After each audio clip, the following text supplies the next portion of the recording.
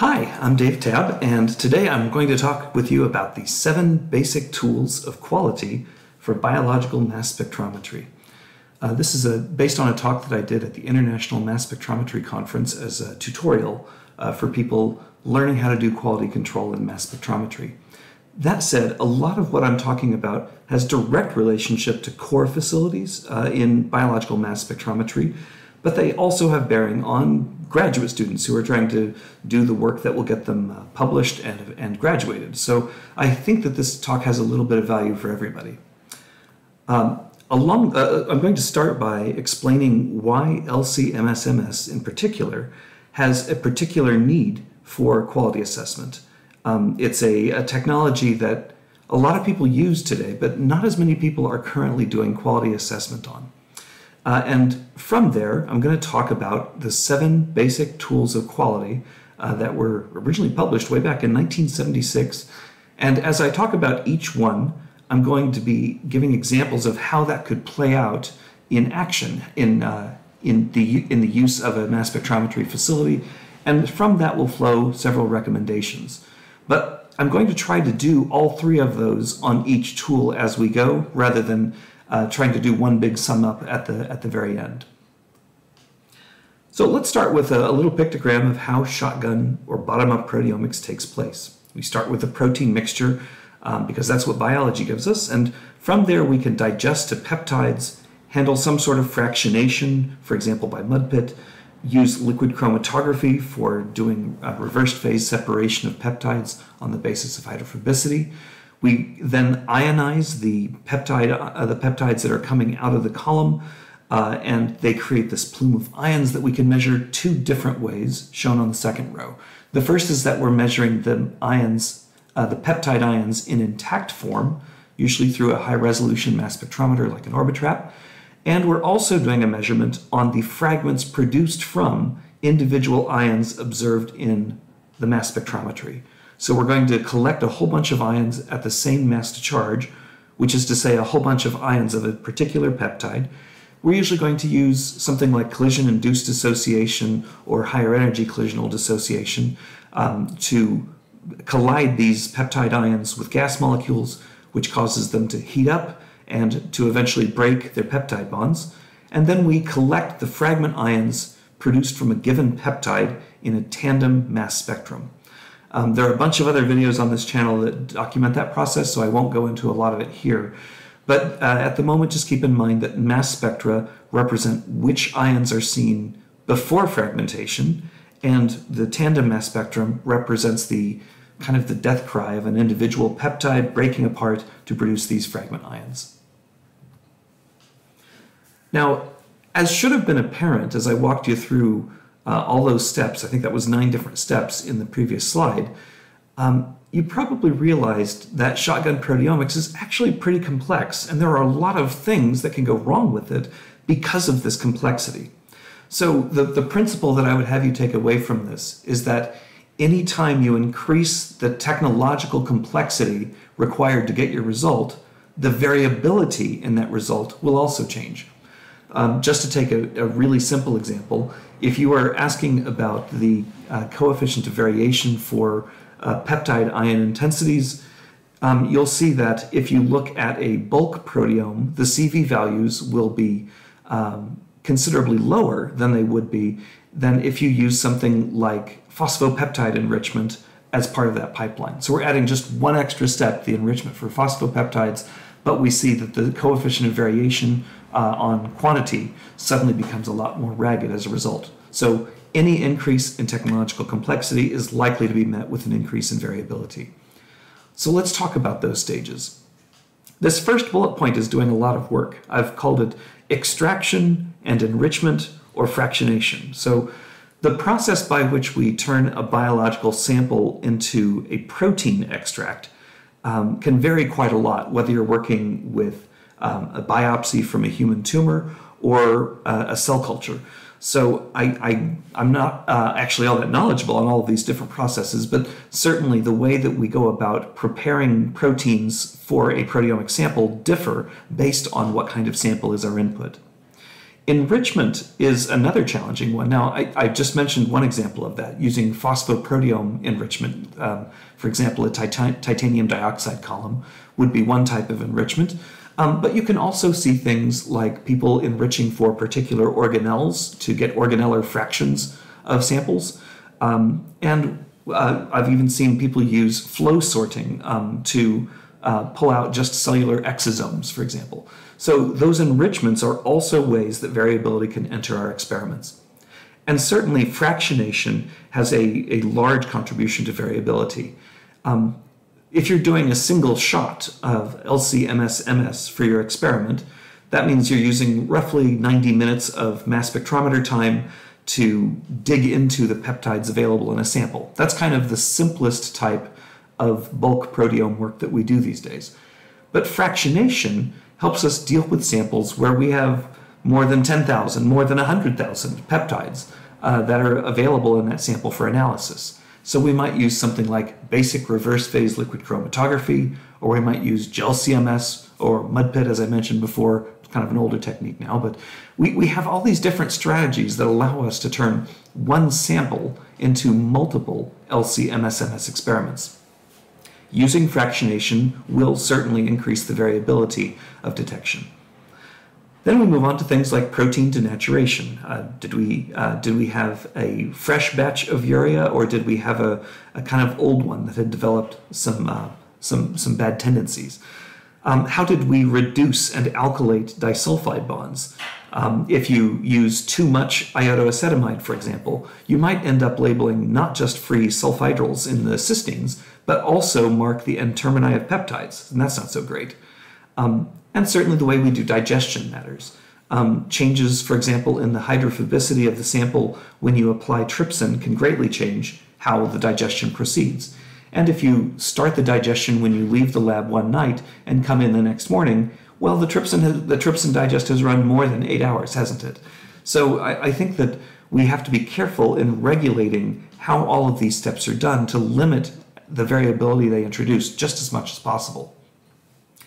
And a very good friend of mine at NIST, Steve Stein, uh, once once explained to me that when variability is the problem, it's almost always the answer that chromatography has led to that problem. Liquid chromatography, as employed in proteomics, is frequently quite ragged, uh, and it has a, a lot of variability in how wide a given peak may appear, which ions are uh, appearing at the same retention times, and so on.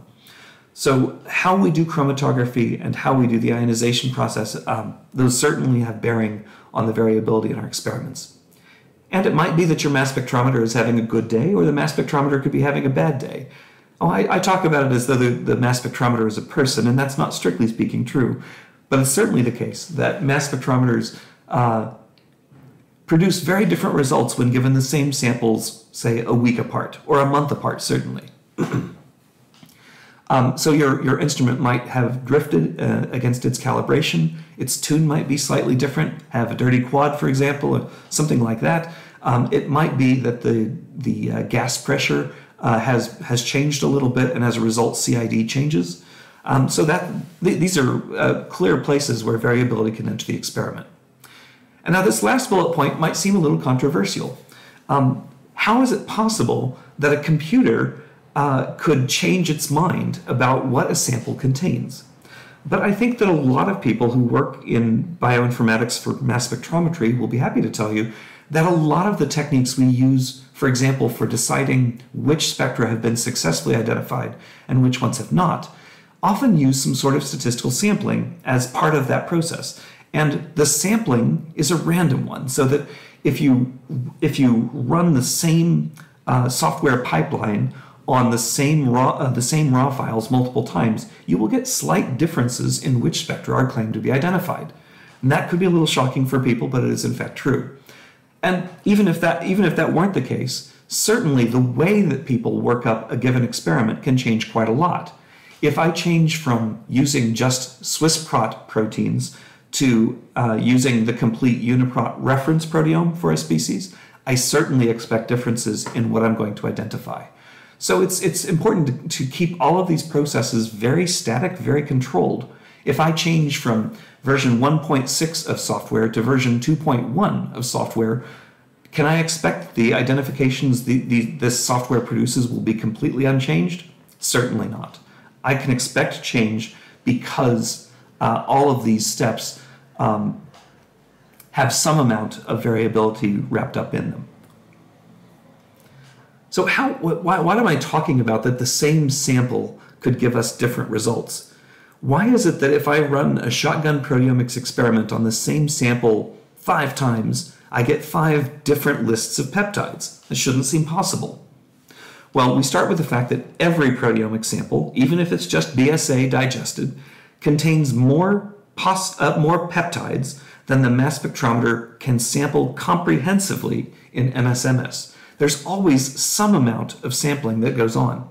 Yes, if you just digest up BSA and shoot that same sample many times, there are some peptides you're going to see every time.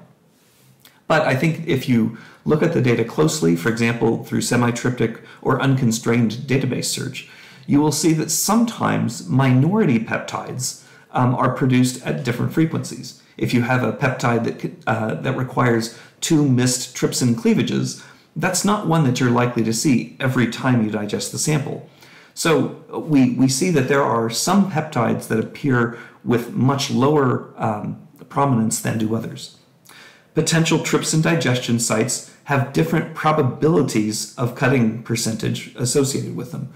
It might be that some of these uh, trypsin digestion uh, cuts are always made, but others are far less likely to be chopped every time. Imagine if you have two lysines in a row, for example, or a lysine next to a proline. That cuts with a very different probability than does a lysine that's just surrounded by a bunch of, say, alanine. And it's not the only thing that can cut peptide bonds. You might have bonus um, digestion proteases in your sample, or you might Zorch the peptides if they, if they come off a source that's set up a little too hot, that has a, a little bit higher uh, voltage on it than you'd like.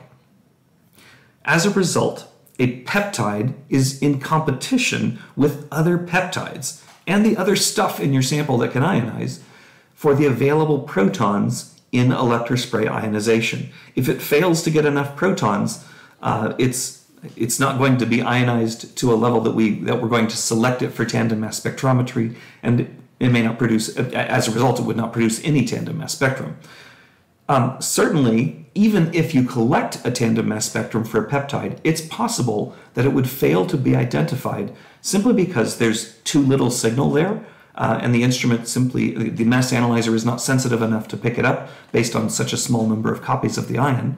Or it might be that other peptides are co isolated with it.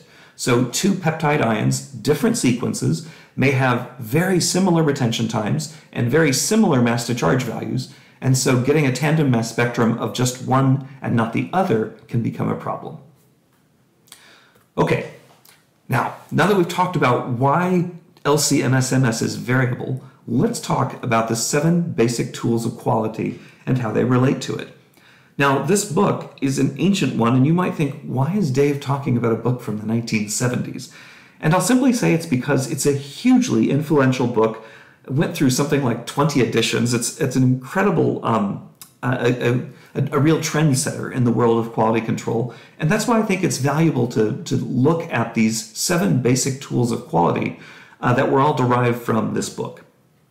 Okay, so we're going to talk about check sheets, cause and effect diagrams, control charts, histograms, Pareto charts, scatter diagrams, and stratification and sampling. Um, how these seven charts uh, get named differs a little bit from website to website. Um, and I, I, should note that uh, uh, Kaoru, Ishikawa, who wrote this book, did not write about the seven basic tools of quality. But these are loosely drawn from chapters in his book. That's why I, I would definitely credit him as the inventor of it. Okay, you might think that a check sheet is something that goes hand in hand with an SOP. Now, if you've never heard the term SOP before, it might be that uh, a little time working in, uh, uh, in uh, industry could be very valuable to you because SOPs are a very valuable tool that uh, industries make extensive use of, and yet fewer academic laboratories make use of them. It is a standard operating procedure. which is to say that every time you do a trypsin digest, you follow this particular set of steps. You might think then that a check sheet is something that says, uh, Did I do step one? I put a check in the box, I move on. Did I do step two? I put a check in the second box. But that's not what we're talking about. Check sheets are not simply to say, Yes, I did it. In fact, Kaoru goes through four different uh, examples of check sheets uh, in, his, in his book that I think are all worth thinking about. We have a production process distribution check. A production, pro- well, sorry, I'll, I'll, speak American for a moment. A production process distribution check. Um, is the distribution of this metric within specification? So one of the ways that we might do this is to say our mass spectrometer LC-MS-MS experiment is a process. Just the, the, the instrument collecting its raw file after we hit the go button, essentially. So we might say, how can we determine whether that process is, uh, is behaving as expected? So one of the most common things that I see would be folks who pull up the TIC, the, the uh, total ion current for a particular raw file, and say, what is the maximum value that I saw for TIC? Was it something times 10 to the ninth or something times 10 to the 10th? Um, those, those numbers would probably seem relatively ordinary for this instrument, therefore um, we're in a good place. So in, a, in this check sheet, I wouldn't simply say the TIC, TIC is good. I would write down what the maximum TIC value was to, to be my check against the range that was allowable for that. When I talk about charge state distribution, um, this is something that has particular relevance in the field where I'm working now, top-down proteomics. Um, but even for bottom-up proteomics, this can be quite useful. What would you say if you collected a raw file from a sample and 50% of the ions that you uh, subjected to tandem mass spectrometry had, singly, had single charges on them? Now, if you're working with a MALDI-TOF, that's a very reasonable thing to happen. But if you're dealing with an electrospray ionization source, seeing a huge fraction of plus ones is very, very bad. So we have this context, context specificity as well, that which instrument you're, or which process you're evaluating um, will determine how you evaluate what comes out. And certainly, people need this for quantitative mass spectrometry. Uh, if you are using standard peptides as your guide to how retention times are shifting among multiple uh, raw files, then writing down the retention times at which those standard peptides appear is very valuable to you in understanding the drift in liquid chromatography. Next, we have defective item and location checks. How many of each defect did we observe, and where did we observe them? I'm kind of conflating two different uh, check sheets that, uh, that uh, Ishikawa includes in the book.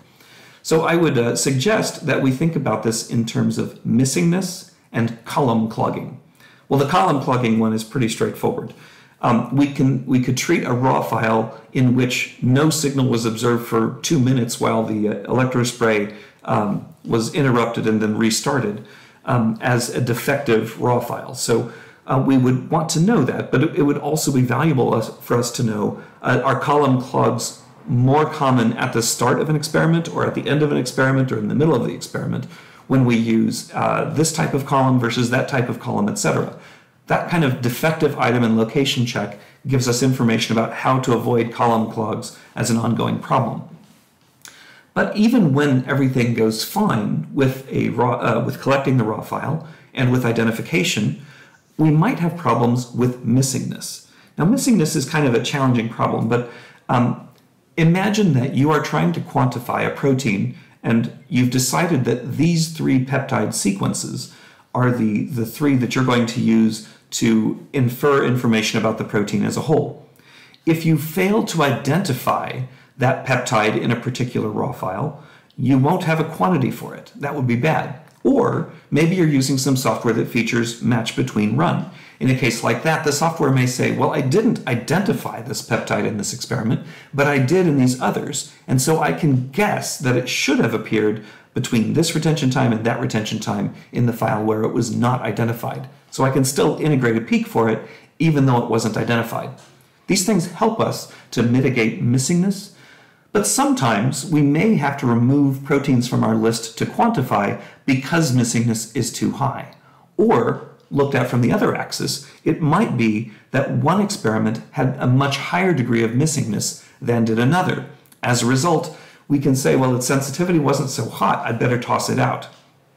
Okay, so uh, defective item and location checks certainly have bearing for us, even if all the action is taking place within the mass spectrometer. Okay, now the last two bullets here, defective cause checks and checkup confirmation checks, are ones that I'm going to talk about on the next slide. But um, in the defective cause check, we want to try to do a bit of cause and effect sleuthing, um, although this is a, a, difficult thing to establish um, in, a, in a rigorous way. We want to understand what the relationship of defects is to the instrument, the operator, or the time. Now, those, are just three factors, but you could blow this out to five factors quite easily. Um, and check-up confirmation checks give us a way to, um, to, to put a seal of approval on a final product. So you might imagine that a core facility, in handing off data to a, a, a, researcher, wants to make sure that all the steps they expected to complete have in fact been completed. So on defective cause check sheet, I, I mentioned I wanted to look at three different factors. Now, I, uh, I spent five years living in South Africa and I'm moving back there right away. And there were two names that I hadn't heard before moving uh, to South Africa, but I, uh, I had friends named Bongani and Tendeka, and I just love those names. So I've, I've listed them here as our instrument operators. Imagine now that our core facility has two different mass spectrometers. One is the Q Exactive, and the other is the Fusion Lumos. Um, so uh, Bongani and Tendeka both operated both machines. And sometimes they were collecting uh, data on Mondays or Tuesdays or Wednesdays or Thursdays or Fridays. And I, I can see that uh, I'm going to split out when my defects took place over the last year on a given day for a given instrument for a given operator. So just to be clear, both Bongani and Tendeka produced hundreds of raw files or thousands of raw files across this, this time interval. And here I'm just putting an X for which instrument, which person, and which day uh, a defective raw file came about. So what we see is that Bongani has one, two, three failed experiments on the Q Exactive, and on the Fusion Lumos, Bongani has one, two, three, four. Uh, so he has a total of seven uh, uh, defective files out of this long time span. Uh, Tendeka had one, two, three on the Q Exactive, one on the Fusion Lumos, so we can say she has four. So we could, um, we could just as a, a, first guess here, and of course these data are completely made up, um, it, we could say Bongani had more instrument fails than did Tendeka because he had seven to her four. Um, we could also then ask about how Q Exactive versus Fusion Lumos uh, plays out. So the Q Exactive had one, two, three, four, five, six fails. The Fusion Lumos had one, two, three, four, five fails. So the two instruments produce failed raw files in roughly equivalent time.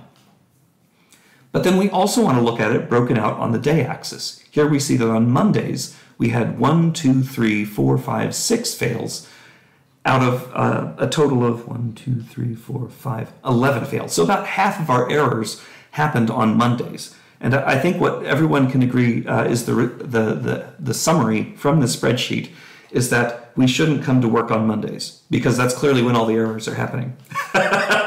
all right, uh, next up, let's talk about this checkup confirmation check sheet.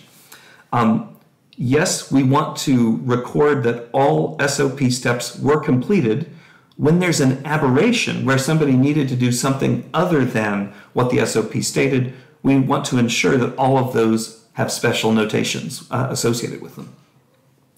Just as a basic check, one might say we are about to ship these 24 raw files uh, to the laboratory that shipped us the sample. So we should expect that the number of LC-MSMS experiments equals the sample count times the fraction count. If I had five fractions collected from each of five samples, and I'm shipping them 24 raw files, that suggests a mistake, that there's a missing file. So being able to uh, confirm that the experiment design conforms to the, uh, the output that, that we're providing makes sense.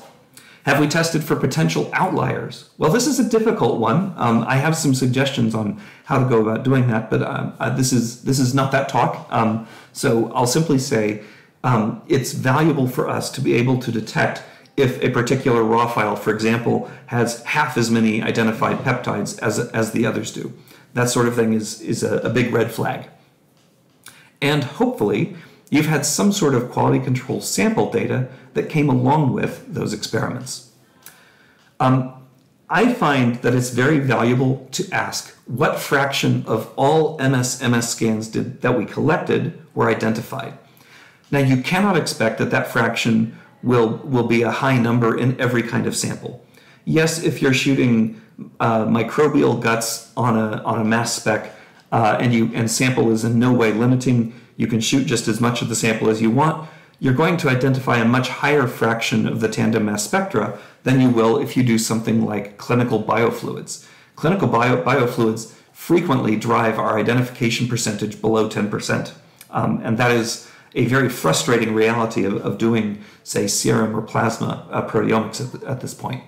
Um, pulling away the most abundant proteins can help some on that count. And also, um, certainly before a manuscript is submitted, do we have a ProteomeXchange accession number? Do we have a, a PXD number uh, for the sample? That is certainly something that we want to have on file before we send in the paper for review, because a lot of reviewers have gotten rather persnickety if you upload your data saying you will upload it. They would really much rather see that your data exist in the server the moment you submit that paper. Okay, cause and effect diagrams. Um, this is sometimes called the fishbone diagram um, because of the way that these, uh, these, uh, these arrows kind of come together in a common axis. But the other name that we frequently see for them is Ishikawa diagram. So this, this is a, a type of figure that was first introduced by Ishikawa. So what are the main factors that contribute to a quality characteristic? Now here I, am showing a, a, diagram from a, mass spec review by my friend Wout Bittremieux, and I'd, I'd, say that there are a couple ways that this diagram differs from what I'm describing here. For example, at the right, I simply say variability. But do I mean variability in what was identified? Do I mean variability uh, in high coefficients of variation for peptide ion intensities? variability can take a lot of forms. So I think it's best uh, to, to put together as concrete a, um, a, a, metric definition as you can to say what type of variability uh, you're, you're, you're seeking to capture. Ishikawa recommends that you use four main factors in most cases, which is to say raw materials, equipment, the method of work, and the measuring method. So the raw materials here would probably be the type of sample uh, that uh, is is handed to you. The equipment would be the mass spec, the columns, the pumps, um, uh, the the reagents for that for that uh, part. Um, method of work tends to be something like the the uh, standard operating procedures. What are the pieces within that that could be messed up? Um, do we do we find that uh, different technicians tend to be stingy or uh, or generous with uh, Pipetman. I, I don't know. There, there, are lots of ways that variability can creep into the way that we implement um, our protocols. And finally, the measuring method, which in this case is almost always going to be the mass spectrometer or the mass spectrometer plus software downstream. Now, the, next thing that you can see is that each of these four main factors, shown by the big bubbles um, at the ends of those four arrows, um, we see that there are other arrows that have been added to break down those larger factors into detailed factors. And uh, frankly, in, in Ishikawa's book, you'll see that these detailed factors get broken up into subfactors, and sometimes the subfactors get split into minute factors. So um, you can draw an Ishikawa diagram of more than two levels, certainly. Um, and uh, it's a very, very good way, uh, he notes, when you have a room full of people who are trying to talk over why a problem is occurring, a fishbone diagram on the whiteboard can be a really good way to capture everybody's input and try to, to flow that all together into one hierarchy. So it's a, a nice diagram to use as a guide to discussion. Now, the Shewhart process control chart uh, frequently looks a little different from this. This is a diagram taken from the Guide to Quality Control in 1976. Um, and I'll just explain that the control chart illustrates whether each of the points on the graph, um, moving from left to right, we're looking at um, ancient history to the present. Um, in this case, we have, I believe, 15 data points. So the 15th maybe represents the data we collected yesterday, and the data points all the way at the left represent, uh, say, three work weeks ago, um, assuming that we did um, quality, this quality control sample five times each day. Um, you can see that n equals 5 at the top of this uh, diagram over here at the right. Okay, so in this case, um, we want to ask, is the instrument in normal uh, operating um, mode or, or, are we getting some abnormalities? Um, has the process of measurement changed um, based on these quality control data that we've collected? Um, we often call it a control chart because we have uh, we, ha- we place limits on what we expect these numbers to change by. Uh, so let's just say then that I'm, I'm going to look just at the data from three weeks ago. I have five replicate measurements that I made on that day. And I now want to ask um, what is the average value for the five experiments I performed? Now, here we see our scale is running from 20 to, say, 35 uh, I don't I don't know what what number this represents, but maybe we're asking what was the number of distinct peptides we identified in our BSA digest. That that's a fine thing to do. So um, I might say that three weeks ago I measured um, 19 uh, peptides from my BSA mix um, when I took the average of my five measurements. Um, uh, so uh, if we look at that measurement over time, we see that there's this general tendency upward in our case.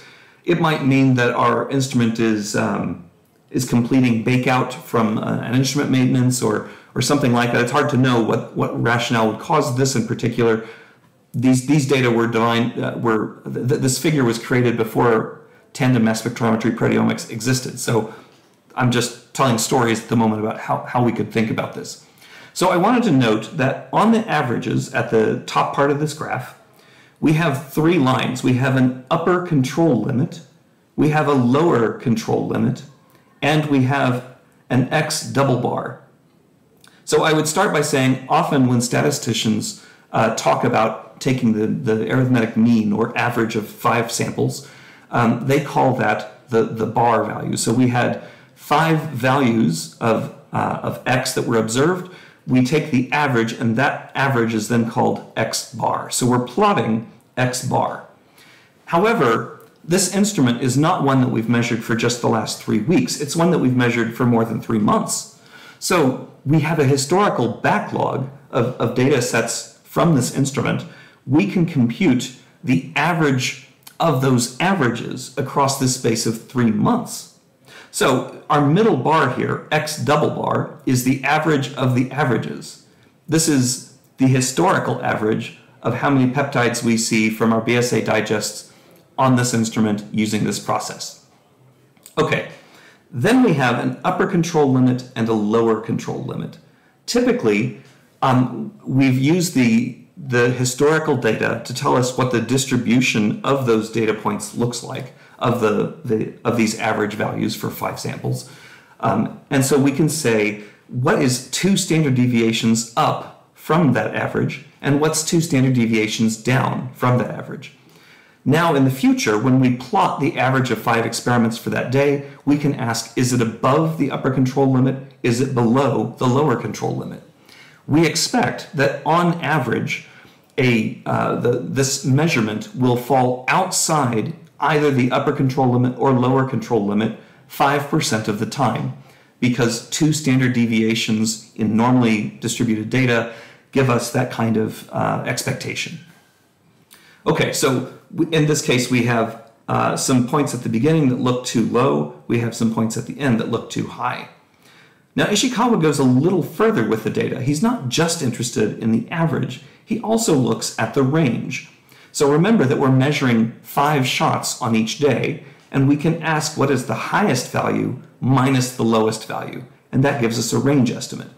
Similarly, we can compute the range average uh, across the three months of time, for example, that we have looked at for this instrument, and we can compute an upper control limit. Now, what does it mean that we have no lower control limit on range? And the rationale here is quite simple. We don't put a lower control limit on range because it's clear what the, the lower what the lower limit is. The lowest possible uh, range that you can have is zero. So the, that's always going to be a hard lower bound on the range. Okay, um, if you're interested in how these evolved since 1976 to uh, be used in a little more contemporary methods, I suggest you look at Shewhart process control charts. Um, and there's a really good page from NIST here. You can uh, download the slides from a link in the description. Um, and it will, it will uh, help walk you through how we build these today. Okay, so what are the kinds of things we might measure with a process control chart? We would like to do longitudinal monitoring very frequently when we're looking at this, which is to say, across a long swath of time, how does this instrument behave? How does this process behave? So repeated experiments, the same samples uh, being analyzed in the same method by the same instrument, we want to evaluate the degree of change. So it might be that we have a particular test sample uh, in which we are trying to measure a set of particular peptides, of pre-specified peptides. So we might want to know, excuse me, is the retention time for that peptide drifting back and forth or is it staying pretty steady? It might be that we're doing label-free quantitation and so being able to understand um, given that we've spiked in a particular amount of protein in all of our experimental samples, we might want to know is the intensity we attribute to that protein spike changing or not um, across these samples. You might want to use that as a way to normalize um, the signals that come out of the intensities of other proteins. Is the number of distinct peptides that we're observing from a complex quality assurance sample uh, changing? So it might be that I'm shooting um, HeLa digest, um, human, human cells, on my instrument every day, and I want to know is the sensitivity of this instrument holding steady for the same process from the same sample? Or it might be that you're doing technical measurements. You're measuring the voltages of your instrument. Maybe you're measuring the temperature of, uh, in the, the mass spec room. Very frequently, we see that, uh, uh, that laboratories don't have as much stability in that temperature as they would like. I, I would just mention that at one point at Vanderbilt, um, many years ago, we had this problem that the instruments seemed to be behaving in a really hinky way, and we couldn't quite figure out what was going on. Um, in the end, we realized that they had painted the hallway outside and the instrument was picking up on um, some extra ions from that mess. So yeah, um, environmental features will certainly affect your instrument. Um, all right, and then finally we get to mass accuracies drift with time. Um, particularly if you're working with a time of flight instrument, but also if you're working with Orbitrap instruments, being able to evaluate what kind of mass accuracy you're getting for known ions as a, uh, as a, a response to time is very important. It's also valuable to note that you don't have to look at individual metrics individually. It's possible using an approach called Hotelling t squared to combine multiple metrics, um, maybe spanning all kinds of features, that, lots of features here from this page, um, into a single value that you can use to evaluate is this instrument in control or out of control. Okay, just a moment, I need to take a quick sip of water. Okay, histograms. Um, you might say to yourself, what could possibly be novel about a histogram? But I would simply note that this book was written in 1976, whereas the first spreadsheet software for the PC, uh, well, in this case for an, an Apple, uh, Apple computer, was developed in 1978.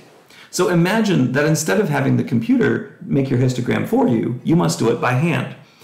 This is a process that, that Ishikawa guides people through step by step on how to build a histogram if you've never done one. It's a really valuable piece of, uh, of contribution because I, I think that um, it's very useful for people to think about the kinds of choices that come into play as we build histograms.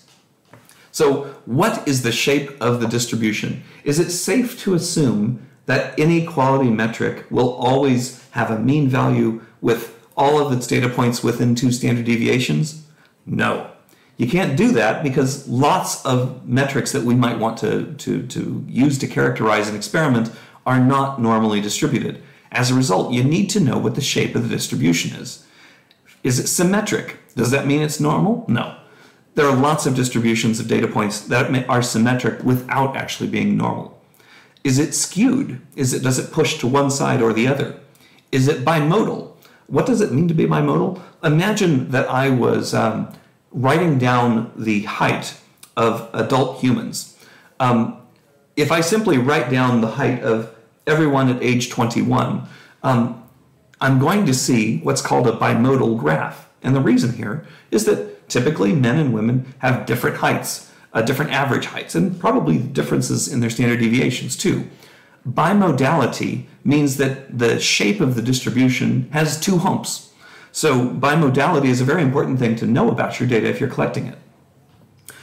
What is the relationship of the values that you see from the distribution of this metric versus the specifications? What percentage of them are out of specification? What is the, uh, what is the mode? What is the most frequently seen value? Um, though it, it, does it line up with where it should? That, that's the sort of thing that we can use to think about what the histogram teaches us. And is there a need to change the histogram? Um, do we see that um, we need to separate, for example, uh, men from women in our in our height distributions so that each of them is separately normal? Um, is it necessary uh, to change the, the widths of bins that we use for continuously distributed metrics? in order to make sure that all of the bins have enough data points in them. Um, when we look over at the right, we see this histogram about how much error was detected between what the instrument told us the mass of a peptide precursor was and what we know it to be based on the peptide sequence. Um, in this case, if we had a, a, distribution that didn't have an average value of zero or a mode value of zero, uh, we would be kind of concerned about that because it would in indicate that the instrument was out of calibration. Okay.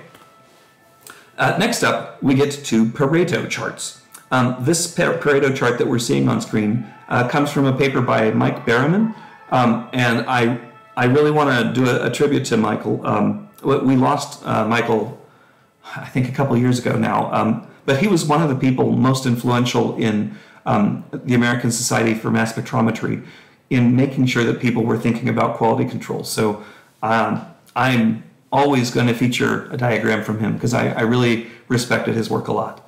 Um, so Bereman uh, used this Pareto chart to explain why uh, quantities derived from individual peptides were rejected in a, a long-term study that they were doing. So we see that uh, there were 30 examples of peaks that they rejected because the retention time was far enough askew that they didn't trust the value.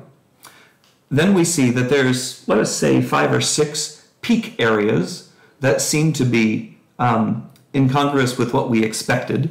Um, so they rejected those five. Then we have full width half maximum. Does everyone see FWHM? That's the width of the peak um, when you look at half of its height. Um, so they, uh, they felt that, uh, say, two, uh, two or three of the, the uh, quantitations had to be rejected on the basis of peak width. And finally, peak symmetry. They felt that those uh, that they rejected one or two uh, nonconformers because the peaks weren't symmetric. But I want to note that the way this is illustrated is using two different y-axes. On the left, we see the scale that relates to the bar heights, but on the right, we see a cumulative percentage. Here we're asking what fraction of all of the nonconformers have been explained by this and every cause to its left. So the first peak, retention time, um, is accounting for about 75% of all of the nonconformers, and so the, the dot appears right at the top of that bar. When we move to the next, we see that the line moves upward very slightly um, to reflect that now we're not looking at just the percentage relating to peak areas, we're adding the, the area for uh, the, the height of peak areas to retention time. That gives us this higher cumulative percentage. And when you've accounted for every possible nonconformer, you finally reach 100%. So there's an ordering that goes on in this in a Pareto chart. Here we put the most common cause of failure at the left and the least common cause of failure at the right. So this is this descending order causes us to understand what topics need the most energy from us. Where should we invest our effort in order to reduce by the largest factor the number of failures in these experiments. So that's uh, th- this gives rise to the Pareto principle or the 80-20 rule.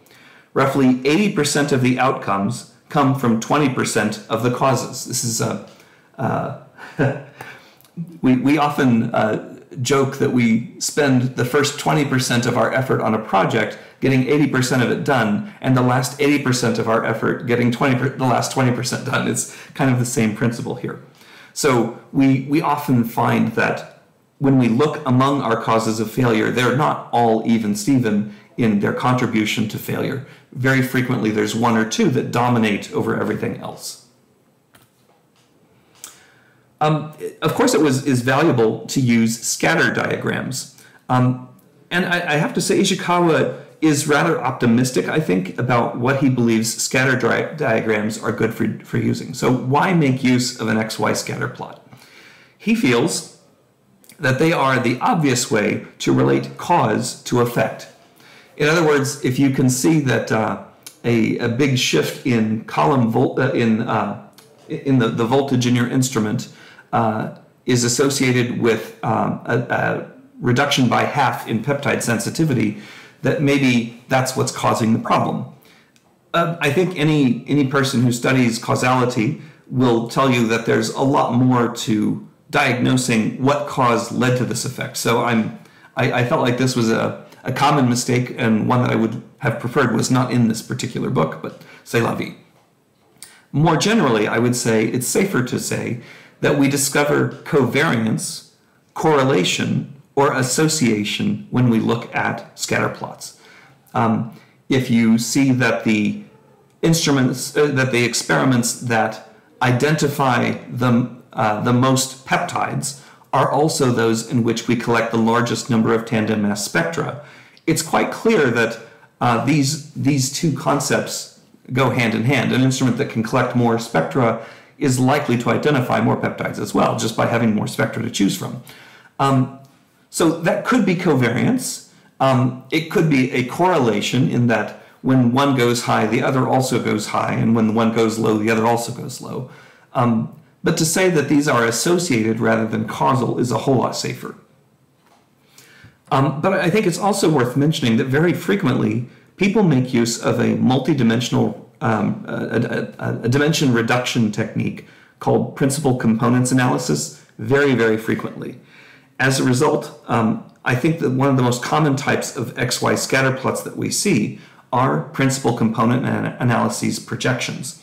Now, I call it a projection because the PCA will almost always give you more than two factors or two components back when you feed it a whole bunch of different metrics and ask how do the experiments cluster. Now, in the, the diagram I'm showing you at the right, these, uh, this figure was created um, to show how a, an Orbitrap Velos performed over the space of eight months. Eight months of time is a long time to spend with one instrument being solely dedicated to one set of samples. Um, but these are the data collected from the colon cancer CPTAC paper um, uh, published by Bing Zhang et al. Um, so the Rob Slebos paper down here at the bottom is our assessment of the quality control and, and um, uh, the bioinformatics necessary for making that paper possible. And here we're looking at the first two principal components um, as, a, as a way to detect how much that instrument wandered across the space on some 1,400 raw files. So it was a, a, an ambitious experiment, and it was intriguing for us to see that uh, the different batches of uh, the 10 different batches of samples actually covered quite a lot of space as the instruments, uh, for lack of a better term, personality changed over the space of these eight months. Stratification and sampling is a, is a rather complex topic and one that we don't talk about enough outside of biostatistics classes. But I was really glad to see that Ishikawa notes stratification and sampling are really, really valuable to us. So let's discuss this stratification concept. If samples fall into different categories, um, or metrics fall into different categories, stratification gives us the ability to incorporate those factors in a model. Now, over at the right, I'm showing you an old figure from a paper I published back in 2009.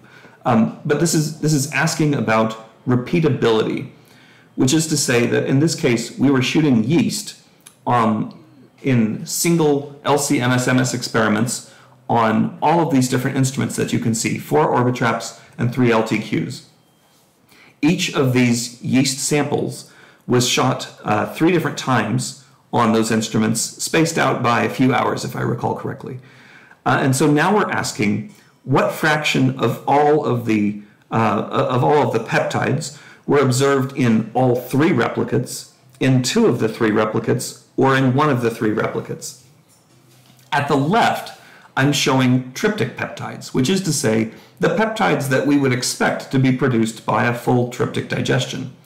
What we see is that something like oh, half of the peptides or less uh, or fewer are, are appearing in one replicate only.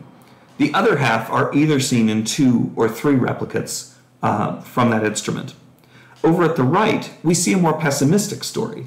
These are semi-tryptic peptides, which is to say, these peptides conform to a trypsin cleavage on one end, but they do not on the other.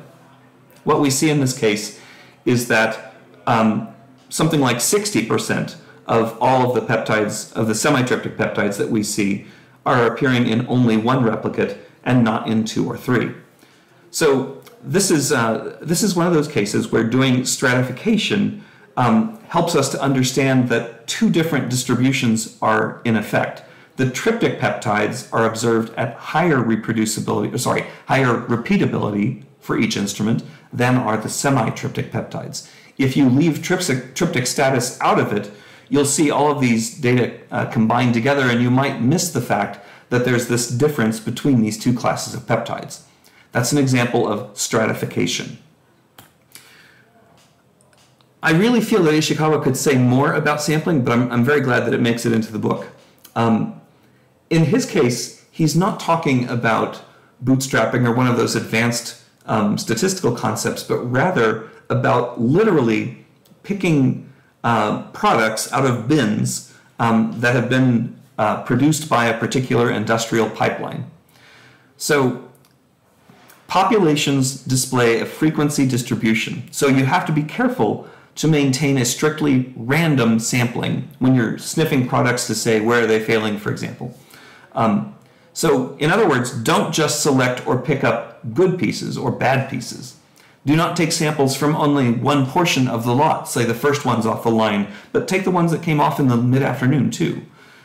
The samples must be truly representative of the lot if, if that sample is going to give you um, good meaning. So I, I would argue that one of the things that people most frequently make this mistake on in proteomics is that they only look at um, protein biomarkers, for example, that have very, very low p-values and ask um, and, and try to use those to understand how everything in that sample is distributed. It is possible that the the proteins that produce very low p-values actually have very weird looking data compared to the rest of the sample. So I, I, definitely think that if you're trying to understand the bulk of your data, the examples you draw upon need to be drawn from throughout all of the data, not just the good stuff and not just the bad stuff. Okay, this brings us to the end, um, and I hope you get several takeaways from this. First off, the seven basic tools are intended as a guide to action, to action. We, we often think, okay, well, I'll do this plot of my, of my quality data uh, because I was asked to by the peer reviewer. But honestly, if you're going to go through the trouble of, of doing quality control, hopefully you learn something from producing these visualizations or producing um, these tables. The seven basic tools are intended to help you figure out how to change your process, how to improve your SOP, how to um, put the instrument in a more stable position so that in general, variability is diminishing as your team develops experience in it. We expect by this process that old experiments are something we learn from, that the, the first experiments we do for a particular fractionation technique tell us a lot of things that we don't want to repeat, that we need to fix to have lower variability in the future. These, these seven basic tools were defined a long time before MSMS-based proteomics. Uh, it's not until basically the, the 1980s that we see people uh, matching tandem mass spectra to peptide sequences. So a full decade before that, um, Ishikawa was, was publishing these seven basic tools. They are just as relevant as ever to guiding how LC-MSMS will continue to evolve. Everybody should know something about the seven basic tools in my view. All biological mass spectrometry facilities should incorporate quality control in their everyday workflows, ensuring tomorrow's processes are based on careful audits of yesterday's experiments. I, uh, frankly, uh, the best the best core facilities that I work with are ones that are able to produce a quality control report that accompanies the bunch of raw files. We, we should expect, as clients of core facilities, to have some sort of explanation about whether the instrument was having a good or bad day. And if, if the core facility ran HeLa samples on my day, um, one of the things that we can use that for is diagnosing whether the data that came back from my samples looked kind of sketch because uh, my sample was bad or because their instrument was having a bad day. If the if the mass spec, mass spec uh, facility can send me raw files saying no no we shot HeLa before your samples and after your samples, and the the the identification sensitivity was fantastic. So this isn't on us. it's a, a, useful thing for both core facilities and for the users of core facilities to know uh, whether the instrument was performing properly. Okay, and I hope uh, that after this you feel uh, better prepared to talk about quality control um, and to incorporate it into your own work. I hope you'll keep coming back to this channel for more videos because I plan on recording them, so I hope you get to watch them. Thank you very much.